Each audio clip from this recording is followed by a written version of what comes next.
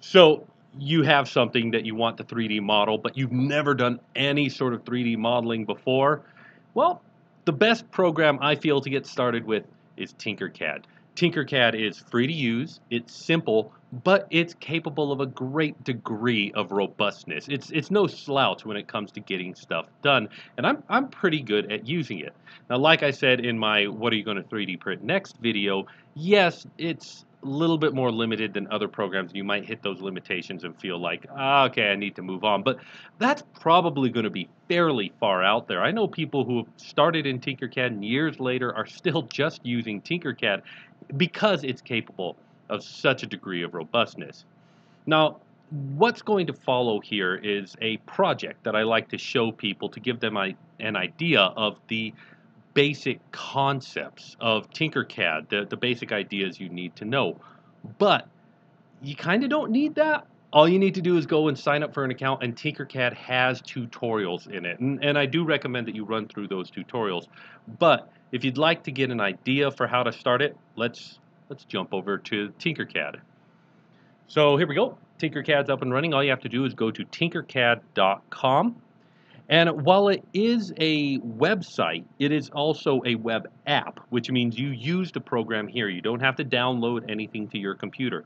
And that's cool because if you then take your login, which you will create by clicking the Join Now button right there, and log into it here at the Makerspace, then your designs and your ideas will follow you here and you can just download them. So that's that's really cool. Now I'm not going to do the join now button. I'm going to sign in because I already have an account. So that's my login and password. And this is the main screen of Tinkercad. And on this screen you can see all the various projects. I, I use Tinkercad for a lot of things. But uh, we're going to create a new design today and open up to the main Tinkercad editor. So here's the editor. Right here at the top is the name of the project, and this is going to be an introduction name tag. This is the 3D view here, and you navigate this 3D view the same as you do in Cura. Right mouse click and drag rotates the view, zoom in with the mouse wheel, click and zoom to pan your view. That is, instead of rotating it around, you're keeping the, the rotation steady and moving the location of your of your camera, of your head, as it were. Now, another cool thing about Tinkercad that I wish that more programs did is right over here on the side, they have a little square that you can click on and jump straight to the top or jump straight to the edge or do a, a corner view that's just perfect. You can home it back to its original view. You can let's let's bring in just a simple simple sphere here to talk about. And let's put it off to the side and you can use this button to focus your view on whatever you've selected. You can zoom out from there. This button here is for orthographic or uh, orthographic or perspective view. Now it doesn't look very different with a with a sphere, so I'll bring in a cube. Let's look at this cube. This is perspective view. This is the way we're used to seeing things. Things in the distance are smaller, so I'll just take in a second box and put it back here. See how that box looks smaller even though in reality they're the same size? Well, with orthographic view, things in the distance are the same size as things in the foreground. And that's useful for like lining things up exactly because you want everything to line up. It's not the way our eyes work, but it, it can be useful to know that that's there. We're going to stay working in in perspective view, but I'm going to take this cube that I dragged in from over here. Uh, over here is the, the objects panel over here. And course, there's a menu panel right here that we'll talk about in just a bit. But these this objects panel gives you all of the all of the basic objects that you can work with. Everything in Tinkercad starts as a basic object, but there are lots of categories. There's the basic shapes that we were looking at. There's text and numbers, characters, connectors. I, I really enjoy down here the shape generators. I sometimes browse through those a lot. And I recommend you check these out, but today's project is going to take place with just basic shapes. And the first basic shape is going to be a cube. I just took that from here, drug it onto here, and there it is. Now notice this cube has handles that we can manipulate it with. We can make it shorter. We can make it wider. We can make it narrower. we can change the shape of this to be whatever we want. Now that's the beginning of my name tag. I'm also going to bring in a cylinder and it's also going to need to be shorter. And yeah, there we go. I kind of like how it sticks out a little bit. It looks a little bit like a key this way. Now, with a, a name tag, with a, a what we want to do, I want to punch a hole in that so I can use it on my on my keychain. And so I need a hole. Now, they actually create some hole objects here, a box or a cylinder hole object for you. But I'm going to get creative. I'm going to look around here. Do I want to, let's see, what other objects could I do? I could do a heart shape. I could do a star shape. Uh, I think I'm going to, I think I'm going to do a heart-shaped hole today. Okay, now I'm going to make this smaller, but oh, I don't, I don't want it to get too narrow or too thin. So how do I keep it so it's always the same? Well, let's, let's undo. You can always undo. If you hold down the shift key while you click and drag one of these handles, it scales it proportionally, which means it scales all of the dimensions at the same time. Now up here, you can choose the shape's color. You can make it whatever color you want. Now that color doesn't matter in the 3D print if you're using just a single nozzle because it's going to be whatever color you load up. But you can you can distinguish things by color in here, uh, or you can make it a hole.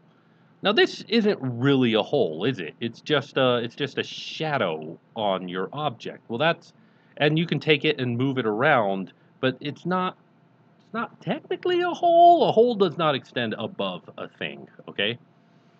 But we can make it into a hole, and this is the first major concept of Tinkercad that I want you to get. Select all of the objects. I've now selected the box, the cylinder, and our heart-shaped hole, and use this button right here called group. Click it. And now the, the square, the cylinder, and the heart have all become one object and the hole has become a hole and it is now a solid object, okay? I think that's pretty cool. So now that I've got the basic shape for my keychain, I'm going to come up here, grab a text object. I'm going to put this into my scene. It's a little bit big, so I'm going to use the proportional scale to make it a little bit smaller. And then up here in the properties panel for this object, I have, you know, what is the text of it going to say? It's not going to say text. I said I was going to put my name on here, so here we go. Haha. Uh, I'm going to change the color of this just so that you can see it clearer. But we have a problem. Uh, first of all, that Y is sticking down a little bit too far. Uh, that's better. I don't know. Uh, the, the Y could stick out just a little bit. But uh, it's the lettering's falling off the side. I grabbed the wrong one here. There we go. I want the name to be only about three millimeters tall. But yeah, the E is falling off the end here, so I need my name tag to be longer. But here's the problem. If I grab this handle and start to manipulate it, do you see what's happening over here to the heart? Do you see it stretching out? I don't I don't want the heart to stretch out. I just want the the rectangular part to stretch out. Let's undo that real fast. Well, how could I, I just stretch out the end of that? How could I make that part longer? It, it would be nice if I could, I don't know, go back to the basic objects that I started with. Is that even possible? Well, right here next to the group button is the ungroup button. So I ungroup it, pull it apart. Oops, I've still got them all selected. Let me just select just a square and boom. Now this idea of taking and making holes out of objects, it allows for some very creative objects that we can create. That was not the best way to say that, but let me illustrate what I'm talking about. I'm going to bring a sphere in, make it very tall, duplicate that sphere. I'm going to use the duplicate button right here and move it over. I'm just going to hit the arrow keys to move it over just a little bit and turn that duplicate into a hole. Now let's uh, center on these objects. If I group them together, what do you think this shape is going to look like? To me, that kind of looks like a bunny rabbit ear. So if I duplicate it, create another one, move it over just a little bit, tilt this one that way, tilt that one that way,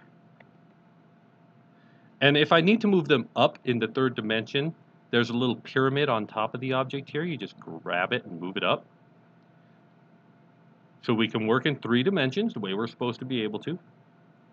And then let's make this white, group them together, and ta-da, we got our bunny rabbit. However, this creates an interesting question. You remember how the ears were grouped together, and then those ears were grouped with the head. So what happens if I hit the ungroup button now? Is it going to ungroup all the way back to those base objects? Is it going to just explode everything back to the base? Let's find out.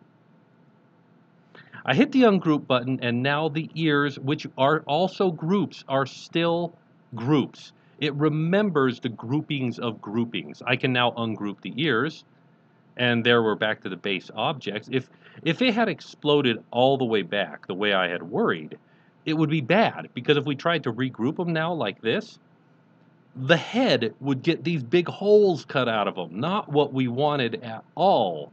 It's important that Tinkercad is capable of remembering that sometimes things are groups of groups, and to remember that we call that a hierarchy of the groupings of the groupings of the groupings. It, it, it, clusters them together. It makes them very good and very useful for that. And so, yeah, that's where Tinkercad's robustness comes from, in that you can build things out of smaller components, and you can you can build complex components and combine them together. Now, I said uh, now that you've got an idea of where where Tinkercad works, I think your, your next step should be go sign up for an account, go through their tutorials, and start playing with it. But once you've done that, the next thing you can do to really catapult your knowledge to the next level and give you an incredible amount of skills is find somebody else who's super talented at Tinkercad and watch them work. And fortunately, there's somebody out there who I can recommend to you. There's a YouTube channel that I'll link to right here called Uni. She's a talented Tinkercad user, a talented maker in general who comes from us from South Korea. I've met her. I think she, I'm a huge fan of her work. And her Eiffel Tower video showed me so much about Tinkercad, and her Star Wars series showed me so much about Tinkercad. So I will link that link will go directly to the Eiffel Tower video. It's the one I recommend you start with, but then after that, just digest everything she's done about Tinkercad and learn. And by watching her, I guarantee you'll be better. I certainly hope that this has helped you. I hope that this will help you create cool things in the future. And I hope that you will take the things that you create, bring them here to the makerspace, use our 3D printers, and make them real. So I look forward to seeing you at the makerspace.